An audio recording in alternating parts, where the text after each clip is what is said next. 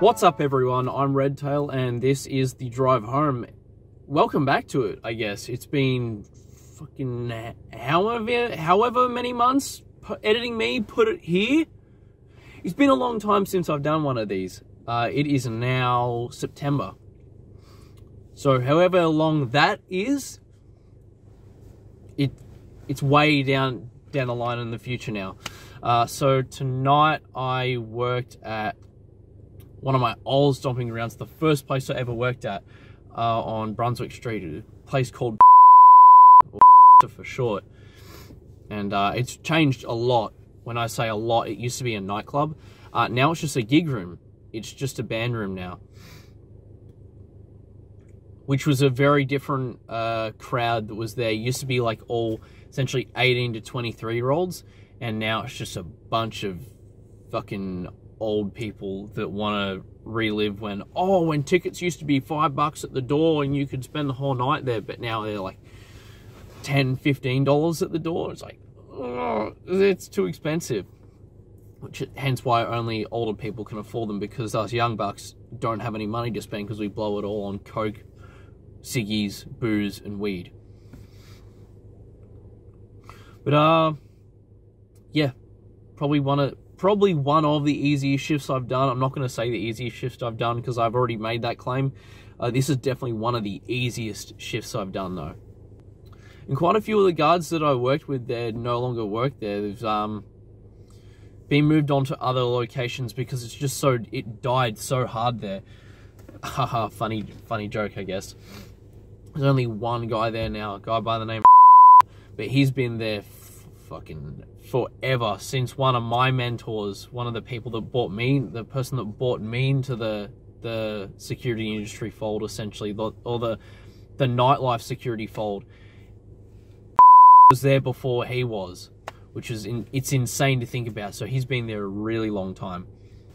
And I did try and do a follow on at, but the place was just had like the the wood boards shut. So I was like, oh, that's really early, considering it's only like, now it's only 2 o'clock.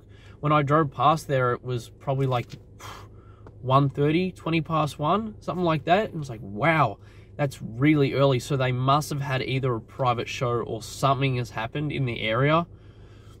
Because shut as well. Which was, it's not like them. So shuts 2 o'clock in the morning on a Friday, which is I guess that's early. It's early for what it is on a like a Saturday, Sunday. But yeah, the only places that I saw open were like and a couple of the other places on Commercial Road. Yeah, so a couple of other places.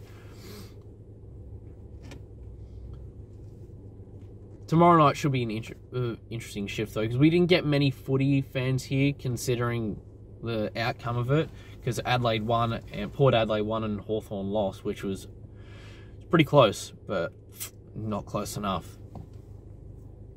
That's a bullshit lie. I think it was like a five to seven point difference.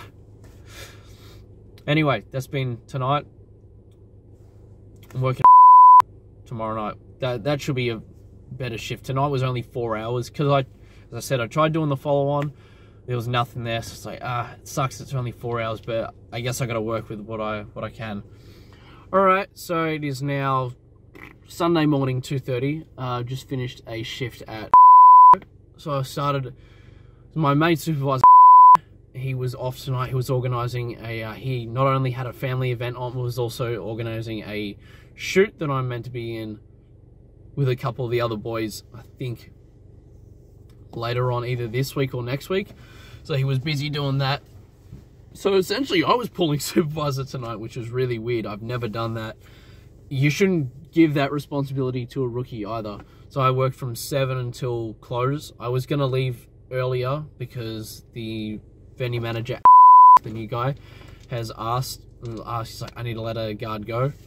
And there was another one there that was feeling a bit crook, uh, even from last night. So it's like, ah, yeah, you can go home. But there was a scare there because I thought he started at 9, but it turns out it was at 8.30. So this is around quarter past 12, 12.30.